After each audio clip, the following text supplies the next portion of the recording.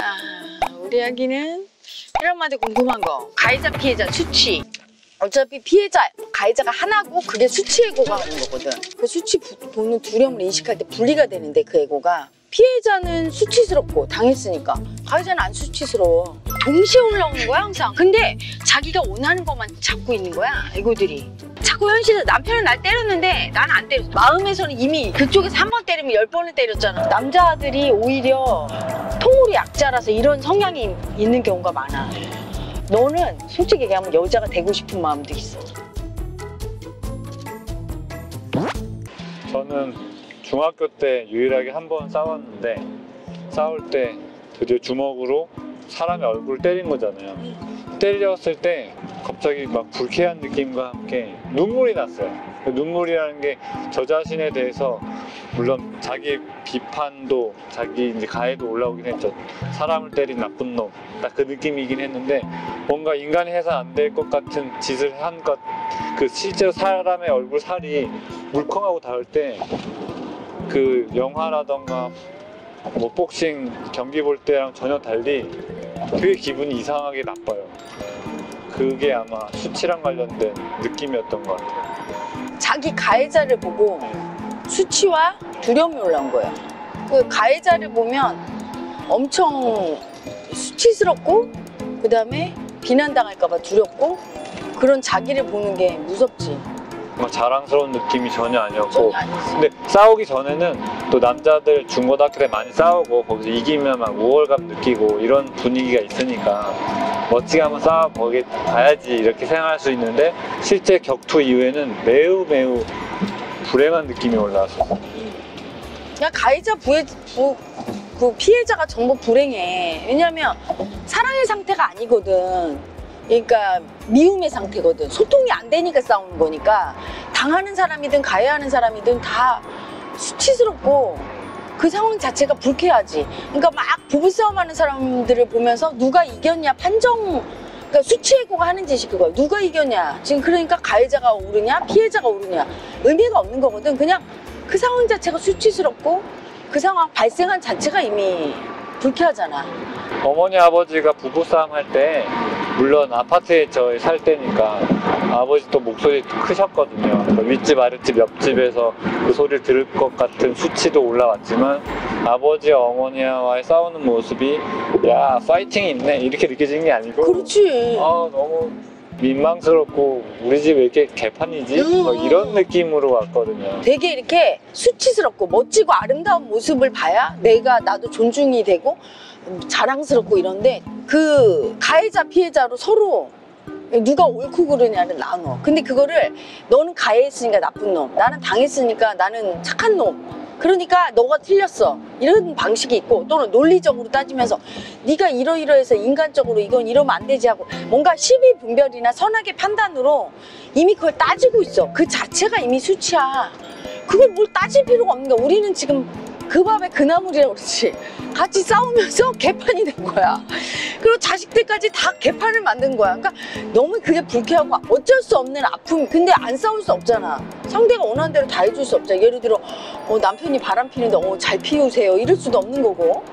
어, 부인이 막 노름하고 막 부인이 딴짓 하는데 아유 그래 집안 개판으로 하고 잘 돌아다니세요 할 수도 없고 그러니까 싸우는데 어쩔 수 없는 그 아픔과 이걸 보는 두려움을 느껴야 되는데 보통 수치에 빠져버리면은 그 수치가 쓰는 tool이 있거든. 나는 수치가 아니다라는 걸 증명하기 위해서 분별심을 쓰고 선악을 나눠서 나쁘다 착하다 이렇게 해. 저는 뭔가 가해 방식을 표면에서 많이 하지는 않아서 아버지 마음이 되어보기 딱 한 상태에서 가보면 아버지가 상을 얻고 소리고 소리도 지르고 각종 육두 문자를 남발하시고 난 이후에 표정이 기억이 나는데 처참한 표정이었어요. 그렇지 자기 가해자를 봤으니까 그 반대 상황이 아주 가- 드물게 있었던 게 엄마랑 음악을 틀어놓고 춤을 추는 물론 어머니 매우 수치스러워 하셨지만 그래도 웃으면서 그런 분위기 좋았던 장면이 한두 건 있거든요.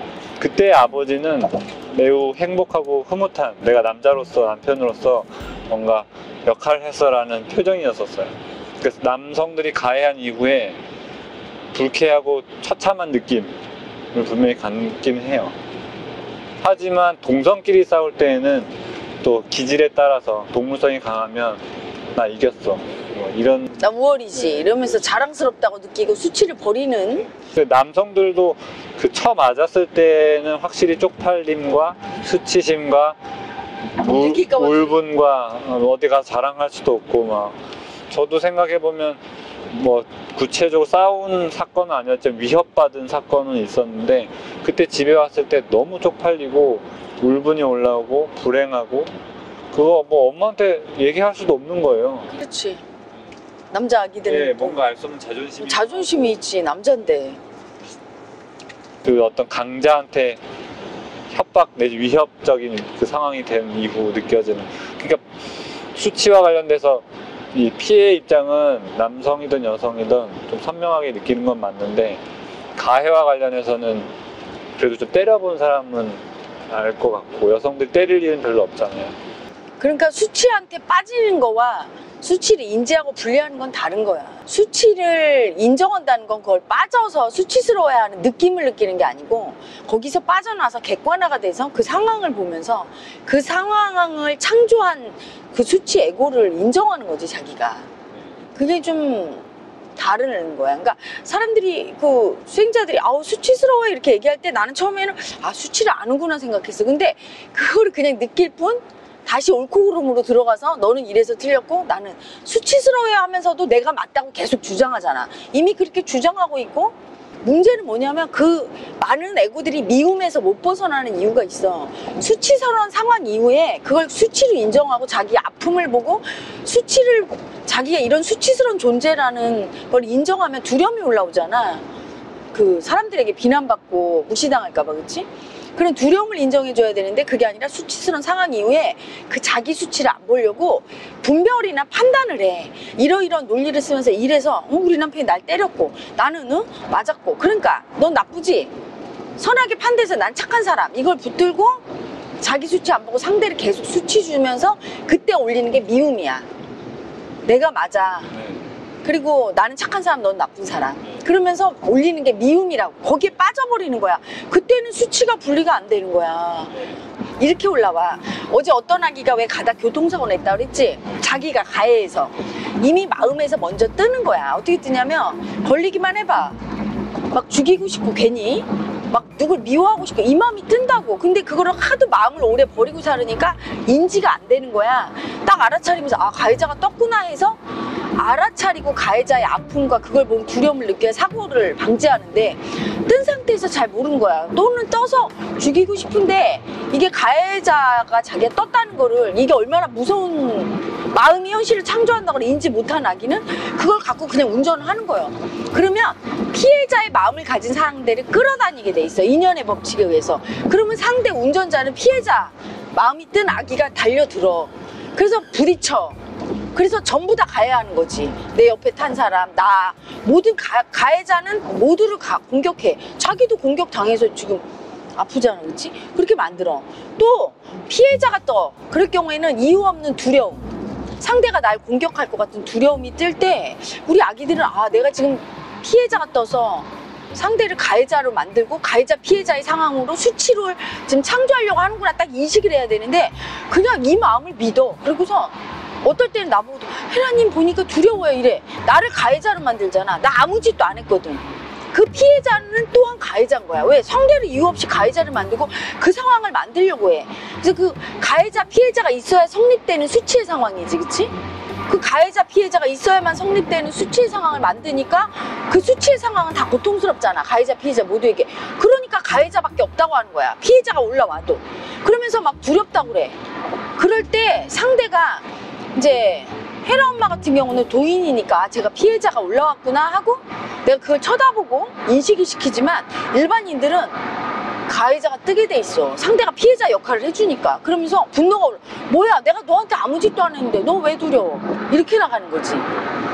연극으로 만일에 비유를 하자면 가해자와 피해자의 잠재의식이 합의하에 그렇지. 수치스러운 연출을 해버린 거잖아요. 그렇지. 그러니까 둘이 합의하에 어. 사람들의 수치 바닷속에 밀어 넣었으니까 어. 사실 둘이가 같이 공범이지. 포함인 거죠. 어, 그런데 자기들은 그 마음을 뜨고 현실 창조를 했는데 뜬 마음을 모르니까 현실 창조한 후의 마음만 느끼니까 나는 당했고 뭐 이렇고 나는 의도가 아니었고 자기 마음을 버렸으니까 이미 그 현실이 나타나기 이전에 그 가해자 피해자가 뜬단 말이야 무의식 속에 있는 근데 걔를 알아차리고 이게 현실을 창조할 거라고 생각을 하고 그 가해자나 피해자 모두 아픔을 느끼고 두려움을 느껴야 되잖아. 이게 창조할 현실을 생각하면 두렵지 그치? 두렵고 이걸 느껴줘야 이게 내려가는데 그걸 안 느껴주거든. 그 두려움을 특히 안 느끼거든. 그래서 창조를 해놓고 나서 옳다 그러다 막 따지고 있어. 수치의 바닷속에서 하나도 녹화가 안 돼 있어? 게다가 중간에 에러 나면 아예 이게 흔들리면서 뭔가 눌린 것 같아 가해자를 그 잘 안 쓰고 피해자 입장에서 뭐 참고 이런 사람일수록 내면에서 생각이 더 많이 올라올 수 있잖아요. 저 자식 때문에 내가 이렇게 피해를 입었는데 내가 약자라서 대들 순 없고 이렇게 막 돌아 생각이 돌아갈 수 있는데 참는 성향을 좀 이제 내려놓고 화도 내고 언쟁도 해버리고 이러고 나면 저도 이제 가해를 쓴 거잖아요. 참지 않았으니까. 그러고 나면 뭔가 수치와 함께 참회와 함께 미안함도 이렇게 섞여 올라오면서 다 그 다음 대화 때 꺾는 게 조금 수월해지더라고요. 그렇지. 근데 사실 알고 보면 참고 피해자를 쓰는 아기들이 그게 더 큰 가해자를 만들어. 가해자를 너무 참고 피해자만 썼으니까. 그 피해자를 쓰는 아기가 누구냐면 가해자 아기야. 가해자를 쓰는 아기는 피해자 아기거든. 왜냐면 나 당했어 하고 가해하고 그리고 어 가해자가 밑에서 이 가해자 들킬까봐 참는 거 아니야. 참으면서 피해자를 쓰는데 피해자가 공격성이 나온다. 여자들이 남자한테 피해 당했다고 할 때 대부분 자기가 그 나- 남자한테 대들다가 가해 이렇게 당할까봐 두려워서 참는다고 가해자를 진짜 확 달려들어서 너 남자면 나하고 하고 싶은데 처맞을까봐 가해자를 참잖아. 참고 피해자를 쓰는데 그 피해자가 살기가 있다고 왜 그렇게 답답하게 하고 상대방을 염장을 지른다고 하지 그렇게 하면서 가해를 해. 그러니까 내가 입으로 내 의도로 가해자 피해자를 쓴다고 하는 거와 실제 나오는 에너지는 다른 거야. 네. 저도 좀 아쉬운 거는 저희 어머니가 아버지와 예전에 싸울 때 야, 쌍놈 새끼 하면서 그냥 덤볐으면 그렇지. 얼마나 서로 가해자도 인식하고 피해자도 인식하고 시원하지. 서로 시원하고 수행도 되고 사랑할 수도 있고. 근데 그거를 이제 좀 참다 보니까 많이 서로 힘들어진 게 아닐까 그래서 저는 최근에 어 여자친구랑 격돌이 시작되면 나는 열심히 싸워야 되겠다 그럼 네, 싸우는 게 사랑이고 싸운 것도 예의가 있어서 수준에 맞춰줘야 되는 거야. 그러니까 아버지가 더 분노한 거 뭐냐면 사람이 너무 아프면 수치당한 아픔이 크잖아? 그러면 수치스러워지고 싶어. 발산해서 막 쌍욕도 하고 싶고 내가 늘 고상하게 막 예를 들어 대통령 막 해- 하면 점잖게 좋은 얘기만 하고 이래야 되잖아. 근데 너무 내 뜻대로 안 되고 너무 수치를 당하면 에이씨 자리고 뭐고 좀 확 망가지고 싶은 욕구가 올라. 그러면 시원하잖아. 수치를 털어내잖아. 그치? 그러면 막 옛날에 모 대통령이 했듯이 아 진짜 빌어먹을 대통령 못 해먹겠네 막 이런 소리 않고 이분의 마음을 난 이해가 하거든 그랬더니 이제 뭐라고 하냐면 품격에 안 맞게 그런 소리를 하시네요. 탐울한 얘기예요 그치? 그러면 굉장히 막 힘들거든. 그러니까 아버지 딴에는 너무 수치당한 아픔이 크니까 상도 엎으시고 쌍욕을 해줬어. 그럼 엄마가 분별심 없이 아 저 사람이 힘든가 봐. 그럼 같이 막 욕도 하고 한 판 떠주시고 딱 이러면 시원해. 그리고 나서 아 여보 근데 이게 우리 애기들한테 참 영향이 안 좋지 않소? 하면서 하면 아버지가 알아듣고 아 그래 내가 좀 품위를 지켜야지. 하는데 엄마가 그 끝까지 어떻게 한 거냐면 참고 품위를 지킨 게 뭐냐면 속으로 아버지를 수치 줬다고. 아 당신은 수준이 저질이구나.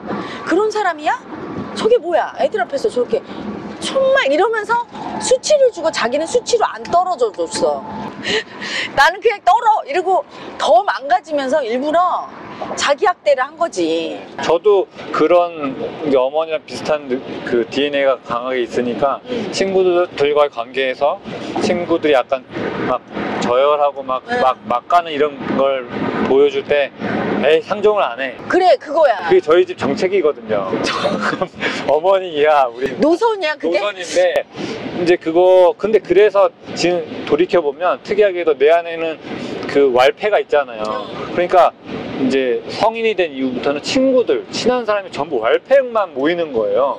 그러면서 제 친구들의 모습을 보면서 대리만 만족. 시원한 거야. 시원한 거죠. 카타르시스를 네, 카타르시스. 하지만 그 와중에도 저는 늘 이렇게 유지하고. 유지하고 있었거든요. 그게 가해자요 그들한테는. 그쵸. 학대하는 거야. 그 감옥에 가둬서 고상하게 넌 수치당하면 안 돼 하면서 그렇게 하고 있었던 거야. 분별심으로. 그 또한 수치야. 분별하면서 했잖아. 그 절에 갔을 때 제가 하도 너무 조심스럽게 사니까 저보다 한 다, 대여섯 살 위에 스님이 제가 한번 화를 냈는데 욕도 못하고 이러니까 스님 일로 와봐 그 욕을 내가 좀 가르쳐 줄게 하면서 따라해봐 하는 거예요 그래서 뭐 이제 개새끼 주로 이런 욕을 가르쳐 주는데 제가 따라 했어요 근데 그 스님이 어 아니야 아니야 인터네이션이 안 맞아 억양이 안 맞다는 거죠 그래서 억양을 다시 가르쳐 주는 거예요. 그러면서 하고 다 아니 표정에서 이쪽이 떨려져 있는데요. 그래서 불을 떨면서 그그 개의 자식을 쫙 했더니 그 선생님이 됐어. 앞으로 그 욕만 계속 하라고. 해서 당신의 내면은 해방이 되는 거야 근데 제가 그때 되게 재밌었거든요 저랑 놀아준 사람이니까 응. 그리고 나서 상담을 이제 영체만에서 이제 하게 됐을 때 여자분들이 보통 교양의 애고 때문에 욕을 못 하잖아요. 그래서 제가 이제 그분한테 제가 욕을 가르쳐 줄 테니까 한번 따라해 보라고 그러면서 게이 자식 이걸 딱 해보면 근데 역시 그분도 인터네이션이 안 맞아요. 억양이 아 인터네이션이 안 맞다고 그러면서 다시 그 스님한테 배웠던 거를 어, 어. 그걸 해주면 어. 그분도 너무 재밌어 어, 하고 해방감을 느껴. 해방감을 느끼면서 그 다음부터는 정말 욕을 잘하게 되는 거예요. 예, 그러면서 아 해방 그렇지. 그게 제일 큰 분별심이 그거야. 욕을 하면 수치스럽고 나쁘다. 근데 그걸 언제 하느냐의 문제야. 어떤 것도 나쁜 건 없고 수치스러운 건 없어. 언제 어디서 쓰느냐가 수치인가 아닌가를 결정해. 근데 수치 에고의 가치나기들은 분별심으로 수치를 이건 하면 안 돼. 남들은 다 쌍욕이 난무하는 세상에 가서 혼자 그러시면 아니 되옵니다. 그게 수치인 거고 다 교양 있는 데 가서 혼자 쌍욕하고 그러면 그게 또 수치인 거고 그걸 잘 어떤 거든지 쓰는 걸 잘해야 되거든. 잘 못 쓸 때 그걸 우리가 가해자라고 하는 거야. 상대와 동조를 못 해줄 때 그게 가해자. 그러니까 문득 그런 생각이 들었어요. 제가 이제 살면서 늘 피해자 입장에서만 살았으니까 저희도 아버지가 되게 엄청 폭력적이진 않아도 밥상 얻는 것도 저도 봤었고 아빠가 되게 큰 소리로 엄마 막 수치 주는 것도 자주 봤었거든요. 그런 취급을 받는 엄마가 여자로서 너무 수치스럽고 피해자는 수치스러운 존재야. 거기에만 제가 꽂혀 있으니까 가해자 입장에서는 아예 생각을 아예 안 하고 살았던 것 같아요. 근데 네가 그때 피해자 저건 수치스러운 거야 이럴 때 너 가해자잖아. 그걸 몰랐어. 그러니까 동시에 올라오는 거야 항상. 근데 자기가 원하는 것만 잡고 있는 거야 이거들이. 어 동시에 올라오는 거야. 그래서 저건 수치스럽지 하고 공격하잖아. 너도 모르게 피해자를 보면서. 그러니까 피해자가 올라올 때 동시에 가해자가 올라서 네가 피해자만 알고 있지만 가해자가 하고 있잖아. 못 알아차리는 마음은 하고 있어. 알아차린 마음은 안 해. 알아차리니까 통제를 해. 근데 그 못 알아차린 나머지 마음에 하고 있다고 무의식에서 표면으로 못 알아차린 마음. 학교 생활할 때도 친구들한테 좀 자주 들었던 게 너는 어떻게 저런 애랑 다녀? 이 말을 좀 많이 들었어요. 저런 애가 어떤 애? 친구들이 되게 좀 친했던 몇몇 친구들이 자기 할 말 다 하고 싫은 소리도 막 하고 가해자구나. 그런 친구들하고 제가 친하니까 그러니까 너무 신기하는 거예요. 아, 그러니까 그게 뭐냐면 아까 의강이 아가가 이랬잖아. 자기 속에 왈패가 있는데 그 수치당할까 봐 두려워서 이렇게 딱 참고 안 쓰는데 친구들은 다 왈패였다. 너도 그거야.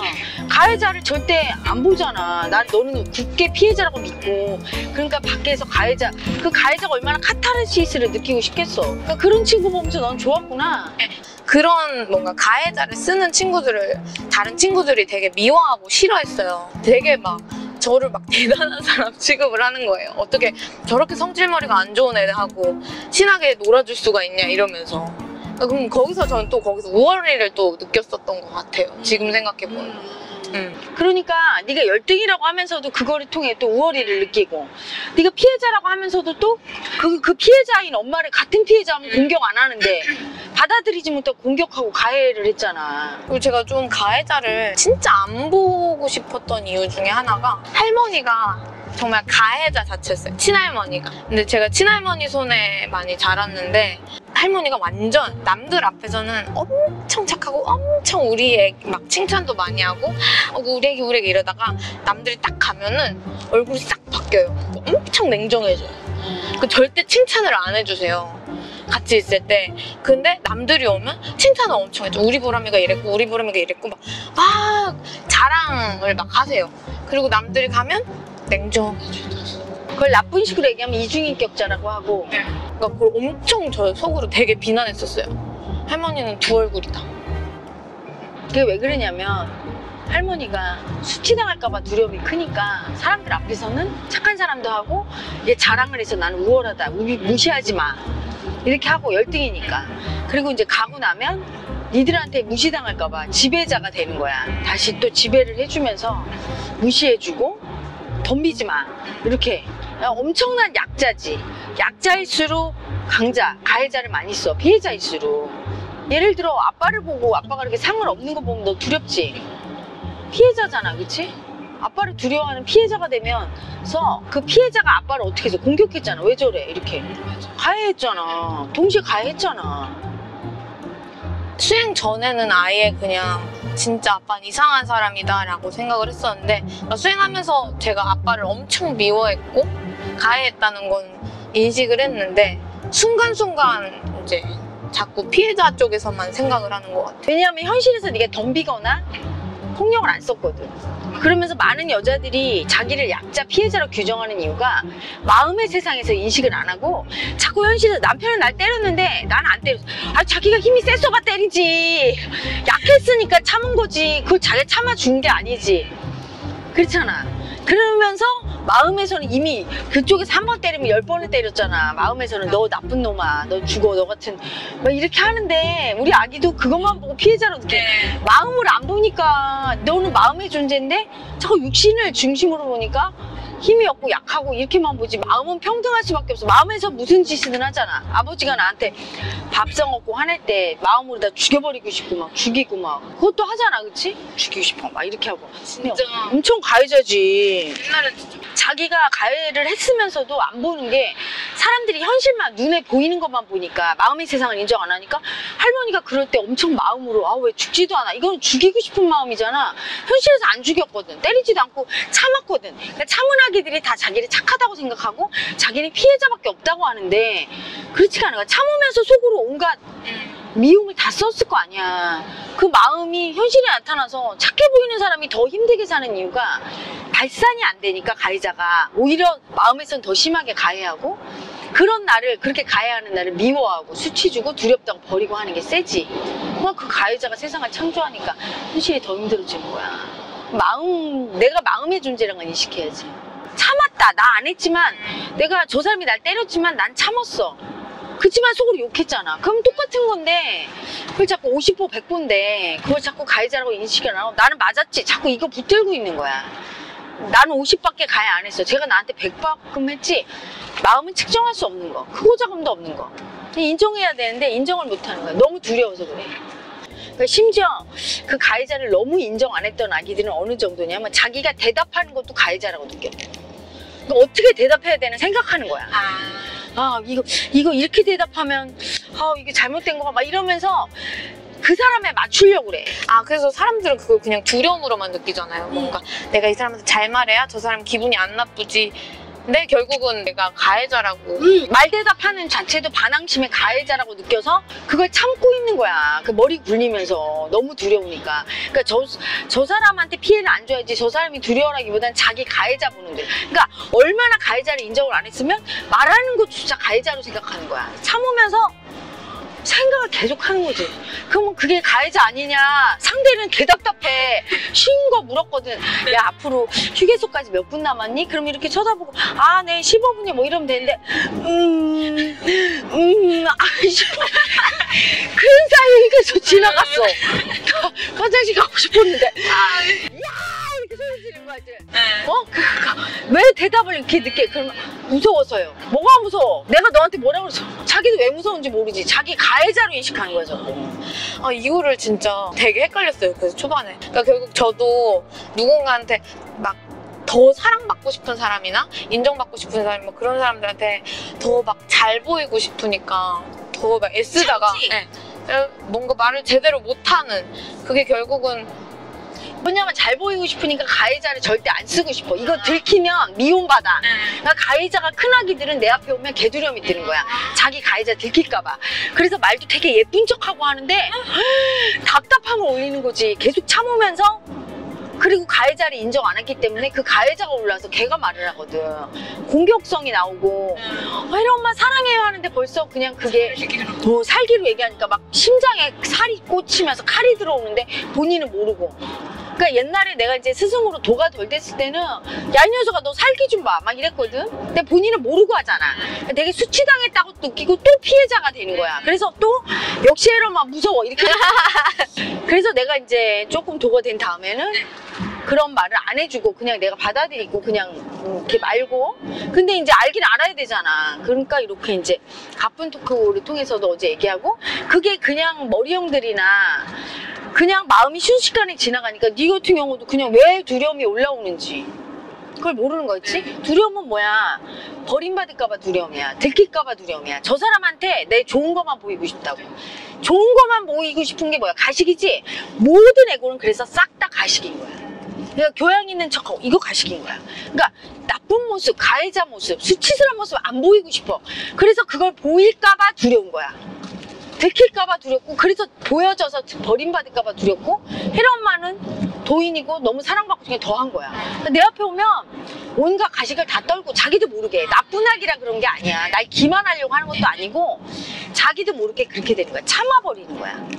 이게 참을 때 그 참으면서 가식적으로 뭘 하려고 할 때 이미 그게 가해자지. 상대에게 솔직하지 않고 나를 꾸며서 포장해서 들이대고서 인정받으려고 하잖아. 그게 가해지. 상대는 진실한 걸 원하는데. 음, 두려움을 인정 안 하고 그 두려움을 내 버림받을까봐 두려움을 참는 살기를 딱 누른 다음에 얘기하니까 살이 나오지. 아 이렇게 엄마랑 얘기를 하면 아마 다들 공감하실 거야 맞아 맞아 그 영상 보면서 맞아 맞아 이러고 돌아서 지옥에 또 빠지지. 그러니까 그게 진짜 엄마도 처음에 수행 시작할 때 지옥에 계속 빠졌다 나오고 이거를 계속하면서 서서히 빠져나오는 거야. 이, 이거 이게 몸을 완전히 몸이 지옥에 들어가 있다가 이거를 서서히 머리가 보여 그다음에 어깨에 드러나 이러면서 서서히 이렇게 빠져나오는 거지 한 방에 그게 안 돼. 그게 수십 년인 거야 이렇게 빠져나오는 게. 순식간인 것 같아 쓸리는 게 마음은 눈 깜짝할 사이야. 0.001초 만에 그냥 가버려 저쪽으로. 그래서 나는 뭔 짓 하고 있는지를 모르는 게 그 정도로 센 거야. 그리고 왜냐하면 마음이 모든 비밀을 다 간직하고 있기 때문에 그 비밀 금고를 여는 건데 비밀의 문을 푸는 거야.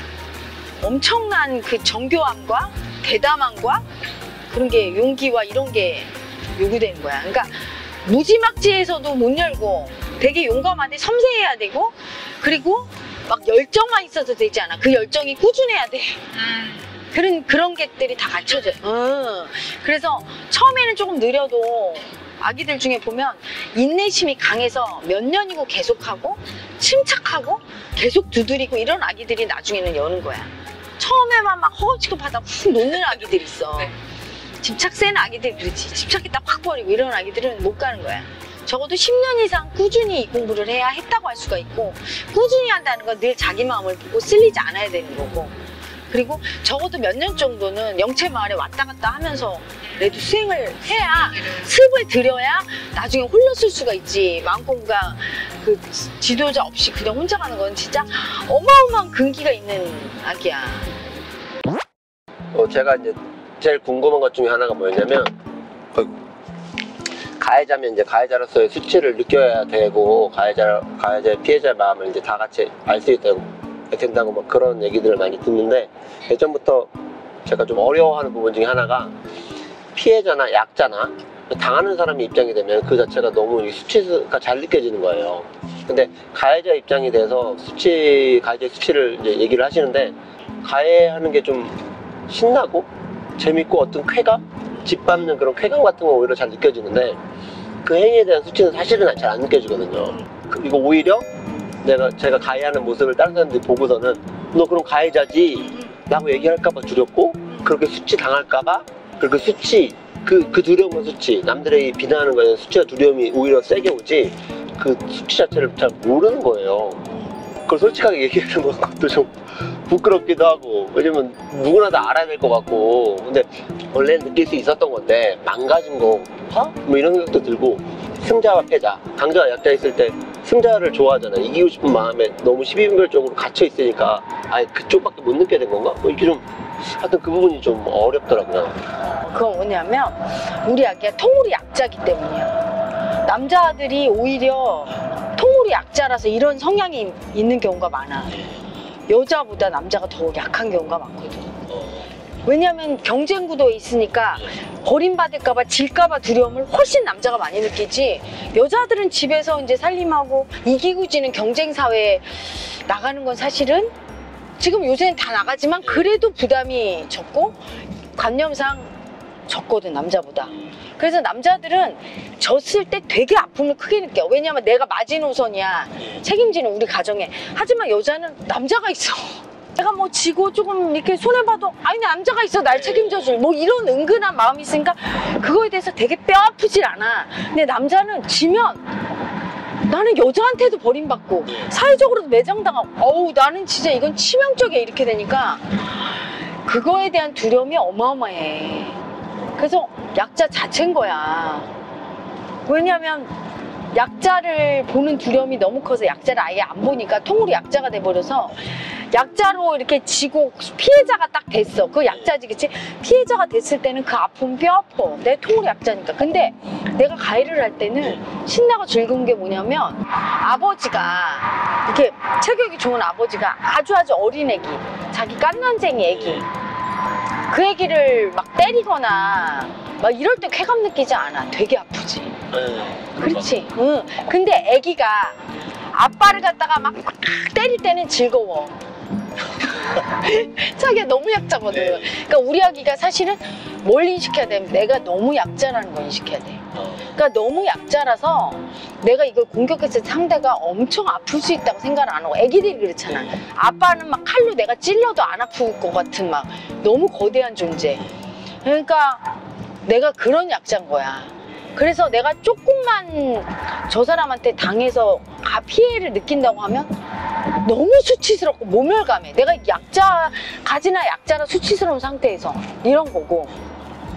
근데 내가 누구를 공격할 때는 내가 너무 약자니까 상대를 아무리 공격해도 상대는 별로 아프지 않을 거라고 생각하니까. 어. 근데 이제 이건 있지. 내가 막 아빠를 죽이고 싶고 막 이럴 때 그 공격을 하면서 남한테 들켜서 너 나쁜 놈이지 할까봐 두려움은 네. 있지. 그 상태인 거야. 근데 그게 왜 형성이 됐냐면 우리 아기한테는 아버지가 너무나 큰 강자였어. 어마어마한 강자였어. 난 상대적으로 너무 약한 약자야. 그 구도에서 나- 내가 너무 약한 약자인데 이 약자의 아픔을 인정할 수가 없어. 너무 아프고. 응. 그러니까 그 약자의 아픔을 인정을 하는 게 약자 자체가 되버린 거지. 아빠한테 완전히 진 열등이 남자가 있단 말이야. 엄마도 빼앗기고. 아니 우리 아기의 집은 서열이 있었다며. 그거 절대 서열해. 그거는 나가 있잖아. 다른 집안도 그럴 거라고 생각하면 착각이다. 우리 집 같은 경우는 오- 오히려 서열에서 보면 막내가 제일 서열이 높을 꼴심이 있을 수 있었어. 왜냐면 어린애가 얘기하니까 그냥 들어주고 뭐. 근데 우리 아기네 집안 보면 특이한 집안이야. 아버지 다음에 엄마, 그 다음에 누나 이렇게 서열이 있어서 강자 약자의 구도로. 보통 강자 약자의 구도로 되지 않거든 가정에서는. 음, 이쁘다고 그냥 봐주고 하면서 뭐 손자가 할아버지 수영 뽑는다는 얘기 있잖아 이뻐하면. 뭐 그런데 이 우리 아, 완전히 서열의 가정에서 자라서 아버지는 넘사벽. 나는 완전한 약자. 그래서 어떻게 보면 그런 집안 분위기 자체가 약간 이런 그 양 강자 약자가 심하다 보니까 그 장난을 그러니까 내가 윗사람이기로 느끼는 사람한테 장난을 치거나 하는 게 너무 무례하게만 느껴지는 거예요. 그래서 예전에 이제 친구들이랑 좀그 가족의 들에서 제 친구가 이제 엄마한테 막 농담을 하거나 막 장난을 치는 아이를 보면서 되게 충격을 받았던 기억이 좀 떠올라요. 아, 감히 엄마한테 저 버릇없이 이렇게 이렇게 되고 예의를 갖춰야 되고 예. 그런 마음으로 많이 살았던 것도 이제 강자 약자 안에 많이 갇혀 있었다는 음 근데 집안 분위기에 따라서 막 엄마한테 농담하고 엄마 업어주고 엄마 애기 다루도 타고 그런 사람도 많거든. 예. 근데 이제 우리 아기는 그걸 못하는 거지. 어 절대 윗사람한테는 내가 약자를 써줘야 된다는 약자에 갇혀 있어. 절대 약자, 강자를 써주질 않아. 어.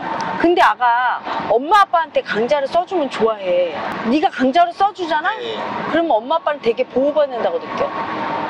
그렇게 제가 하려고 하면 계속 어 너무 버릇 없 버릇 없네. 내가 오버한다. 약간 이런 쪽으로 계속 느낌이 오면서 예. 그러니까 저도 모르게 그 계급을 이 나눠지면 그 계급 안에서 잘 못 벗어나는 게 있나 봐요. 하나님은 상황에 따라서 이게 강자한테 약자한테가 막 자유롭게 되잖아요. 근데 저는 그게 너무 느리, 느리고 정말 잘 안 되는구나가 많이 느껴집니다. 그러니까 그게 빨리 되려면 머리로 해야지가 아니라 써보는 거야. 그럼 네가 깨져. 예를 들어 아버지한테도 네가 강자를 써주면서 어 아버지 이렇게 보호하려는 제스처를 취하고 강자로 딱 이렇게 마음도 그렇게 쓰면서 하면 아버지 좋아해. 어, 엄마도 좋아해. 진짜 좋아해. 엄마는 진짜 더 좋아해. 어, 아들한테 보호받고 이렇게 약자 대접 받으면 황홀해. 아, 그래요? 황홀하지. 좋지. 강자, 강자를 쓸 때 공격하는 마음으로 쓸 때 싫어하지. 네 강자를 보호하는 마음으로 써주라니까. 아, 그러면 엄청 좋아하지. 아, 책임져주고 보호해주고 보호해주는 마음으로 쓰면. 근데 니는 어떻게 쓰냐면 약자로 보호하려는 마음을 쓰니까 이게 힘이 안 실리는 거야. 아, 딱 강자로 딱 보호하려는 마음을 써주면 더 되게 보호받는 느낌과 막 그렇지. 근데 내가 우리 황준아기를 보면 충분히 강자거든. 마음으로 써주지를 못할 뿐이야. 두려워서 수치당할까봐. 윗사람한테 수치당하지 않거든. 사랑받거든. 넌 충분히 강자야. 판단하고 배려하고 이런 게 강자인데 그 보호하고 배려하고 그런 거를 엄마한테 써주면 엄청 좋아해. 혜라 엄마한테도 써주면 좋아해. 엄청 좋아하지. 혜라 엄마는 애기야. 조금만 행복하지. 같이 노는 거야, 그렇게. 노는 거지. 그게 왜 무시하는 거야? 사랑으로 노는 거지. 그러면 행복하지. 저도 그걸 좀 이렇게 두려움을 떨치고 표현하면서 음. 사랑을 주고받는 걸 좀 해야 그렇지. 그게 얼마나 어, 행복하게 해주는지 알아. 상대를. 근데 이런 게 있는 거야. 진짜로 윗사람으로 인정하는 건 뭐냐면 윗사람이 얘기를 할 때 귀담아 듣고 그대로 이렇게 해주려고 노력하고 그게 인정이야. 그리고 놀 때는 자유롭게 애기 다루듯이 막 놀고 하지만 이 사람이 얘기한 걸 주의 깊게 듣고 그거를 실천하려고 노력해야 되거든. 근데 많은 열등이들이 나한테 어떻게 하냐면 엄마 앞에서 쩔쩔매고 네, 네. 이거 이게 자기가 약자를 인정하고 순종하는 거로 생각해. 그러면서 내 말을 하나도 안 들어. 어, 맞아요 맞아요 내 말을 안 들어. 수- 마음 공부 열심히 해라. 이렇게 해라 하는 거는 다 씹어버려. 다 안 듣고 내 앞에서 네, 혜라님 하겠습니다. 이러고 안 해. 그러면서 자기가 내 말, 내 뜻에 순종하고 자기가 어 약자 내가 강자 자기가 약자 이렇게 나를 스승으로 인정한다고 생각해. 스승이 강자로 인정. 아니 자기가 약자이고 내가 강자인 스승이면 내 말을 들어야 약자지. 예. 나보다 강자야. 내 말을 안 들어. 그리고 모습만 약자인 척하면서 네, 네 이래. 진짜 공부되면 어떠냐면 그 사람이 나보다 위라는 걸 인정하는데 뭘 인정하냐면 혜라 엄마가 너가보다 힘이 세? 아니잖아. 예. 뭐를 인정하냐면 혜라 엄마의 의식. 음, 의식이 높잖아. 그러니까 네 마음 공부하는 데 있어서 내가 어떤 조언을 할 때 아가 이렇게 이렇게 해라 할 때 주의 깊게 듣고 내가 네 윗사람이니까 어떤 지시를 할 때 그걸 듣고 그걸 꼭 지키려고 노력을 하고 그걸 아주 명심을 하고 가슴에 새기고 그게 순종이야. 그게 네가 약자를 인정하는 거야. 내가 강자고 약자라는 거. 예를 들어 네가 어디 가서 수영 코치한테 수영 배울 때 그 사람은 수영에서는 강자지. 너는 약자야. 그러면 그 사람이 하는 말을 귀담아 듣고 약자니까. 그거 그 사람이 나는 이렇게 하고 싶어도 그 사람이 하라는 대로 해. 그러면 인정을 한 거야. 어, 이해돼? 예. 응, 근데 나머지는 노는 거야, 후리하게. 그리고 또, 우리에게 궁금한 거나, 아 궁금한 것 중에 하나가 그게 있었습니다. 그 책임지는 마음을 이제 남자들은 되게 많이 쓴단 말이에요. 남자들은 예를 들어 어떤 일을 해 그러면 어떤 일에 대해서 이 정도로 책임을 져야 돼 라고 생각한다고 하면 여자들은 똑같이 책임을 지는데 이 정도면 책임을 지는 거야 라고 어 하는 그 의식 차이가 다 그렇진 않은데 남자들이 보통 그 여자들은 보통 작단 말이에요. 근데 여기서 오는 그 그 괴로운 마음들이 생각보다 잘 청산이 안 되더라고요. 특히 여자분들에 대한 좀 미움이 잘 안 내려가는 거예요. 그 미움은 뭐냐면, 네. 네 모습이라 미운 거지. 그러니까 네가 책임을 져야 된다고 네. 하는 건 너한테 행복해서 책임을 지면 네. 절대로 반대급부로 책임지기 싫은 마음이 없어. 무슨 말인지 알아? 네. 근데 억지로 너한테 책임져야지. 부모님이 그렇게 가르쳤거나 너가 남자니까 수치당할까 봐 두려워서 너를 억압하면서 책임져야 돼. 남자니까. 지면 안 되고 수치당할까 봐 두려워서 안 되고. 이렇게 억압하면서 했단 말이야. 그러니까 반대급부가 생겨서 반항심. 그래서 책임지기 싫은 마음이 큰데 책임 안 지고 싶고 책임지기 싫은 그 마음을 들키면 사람들이 야 남자가 말이지 하면서 수치당할까봐 되게 두렵거든. 네. 그 마음에 대해서 수치당할까봐 두려움이 크니까 그 마음을 인정하기 싫어. 그래서 여자들을 보면 그 마음이 보인 거야. 네 책임지기 싫고 어. 거부하는 마음이. 그러면 그게 그거를 그걸 되게 두려워하는 거야 사실은 네. 그 모습 두렵지 너 지금 느껴봐 두렵지 않아 책임 안 지고 그 조금 책임지고 청 접다고 해서 그런 남자를 보면 너 어때 좀 버림받지 여자한테 찌질하다고 무시당하지 너무 두려워 사실인데 그 두려움이 너무 무섭고 네. 그러니까 미움을 쓰는 거야. 그게 너라고 인정하기 싫은 거야. 인정하면은 너무 두려우니까. 근데 오히려 그런 책임을 안 지는 남자들에 대해서는 그렇게 미움이 덜 올라오고 여, 아, 여자들은 당연히 책임을 덜 져야 된다는 걸 머리도 알고 있는데 책임 안 지는 여자들한테 미움이 더 올라오고 그럼 왜 그냐면 네가 뺏고 뺏긴 애고가 되게 크잖아. 네. 뺏겼단 마음이지. 그러니까 여자 너는 솔직히 얘기하면 여자가 되고 싶은 마음도 있어. 가, 가만히 봐. 예. 여, 이, 그건 뭐냐면 여자가 되고 싶다 이런 것보다 아 여자는 참 인생 편하게 살아. 아, 개질주가 있어. 아, 여자 인생 편해. 여자는 진짜 편해. 이런 게 있어. 그게 아버지 속에도 있어. 내가 남자 역할은 하지만 이게 되게 행복하고 조- 좋아서 하는 것보다는 남자로서 무시 안 당하고 남자로서 인정받아야 되니까 하는 거지만 여자 남자 놓고 볼 때 굉장히 뺏겼다는 마음이 커.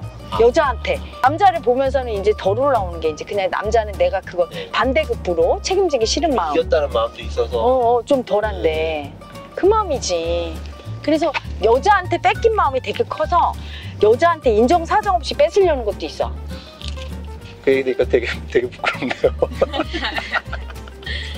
얘기하면서도 부끄러웠지만 또 그렇게 듣고 나니까 되게 창피하네요. 아, 그러니까 아까 뭐냐? 이거 너는 어떤 부분은 여자하고도 동등한 관계를 유지할 수 있어.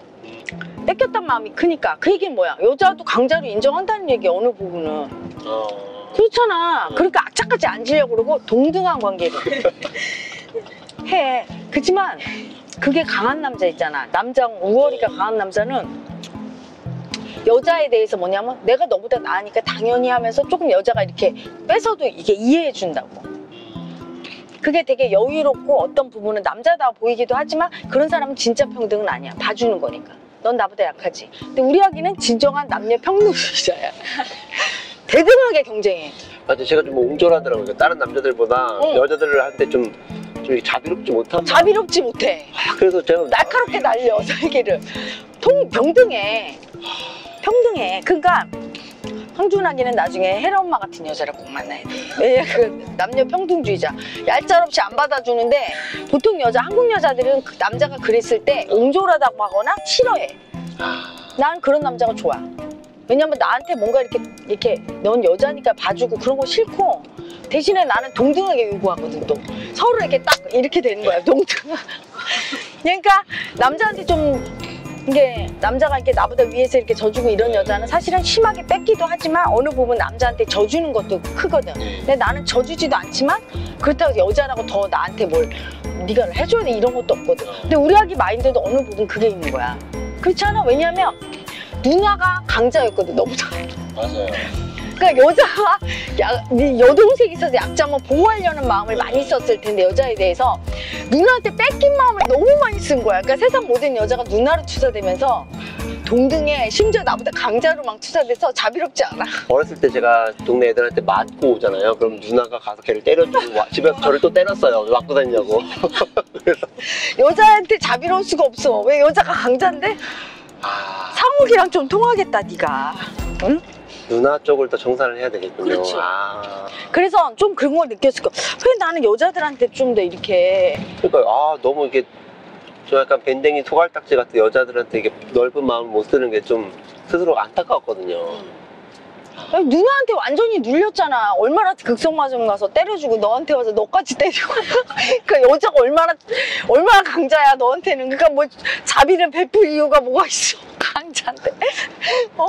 강자인데 상호 가기도 누나가 매어 꽂았대잖아. 그러니까 여자한테 그냥 알아서 기잖아. 무슨 뭐 그거는 여유가 자비로운 게 아니야. 무서워하는 거지. 웃긴다.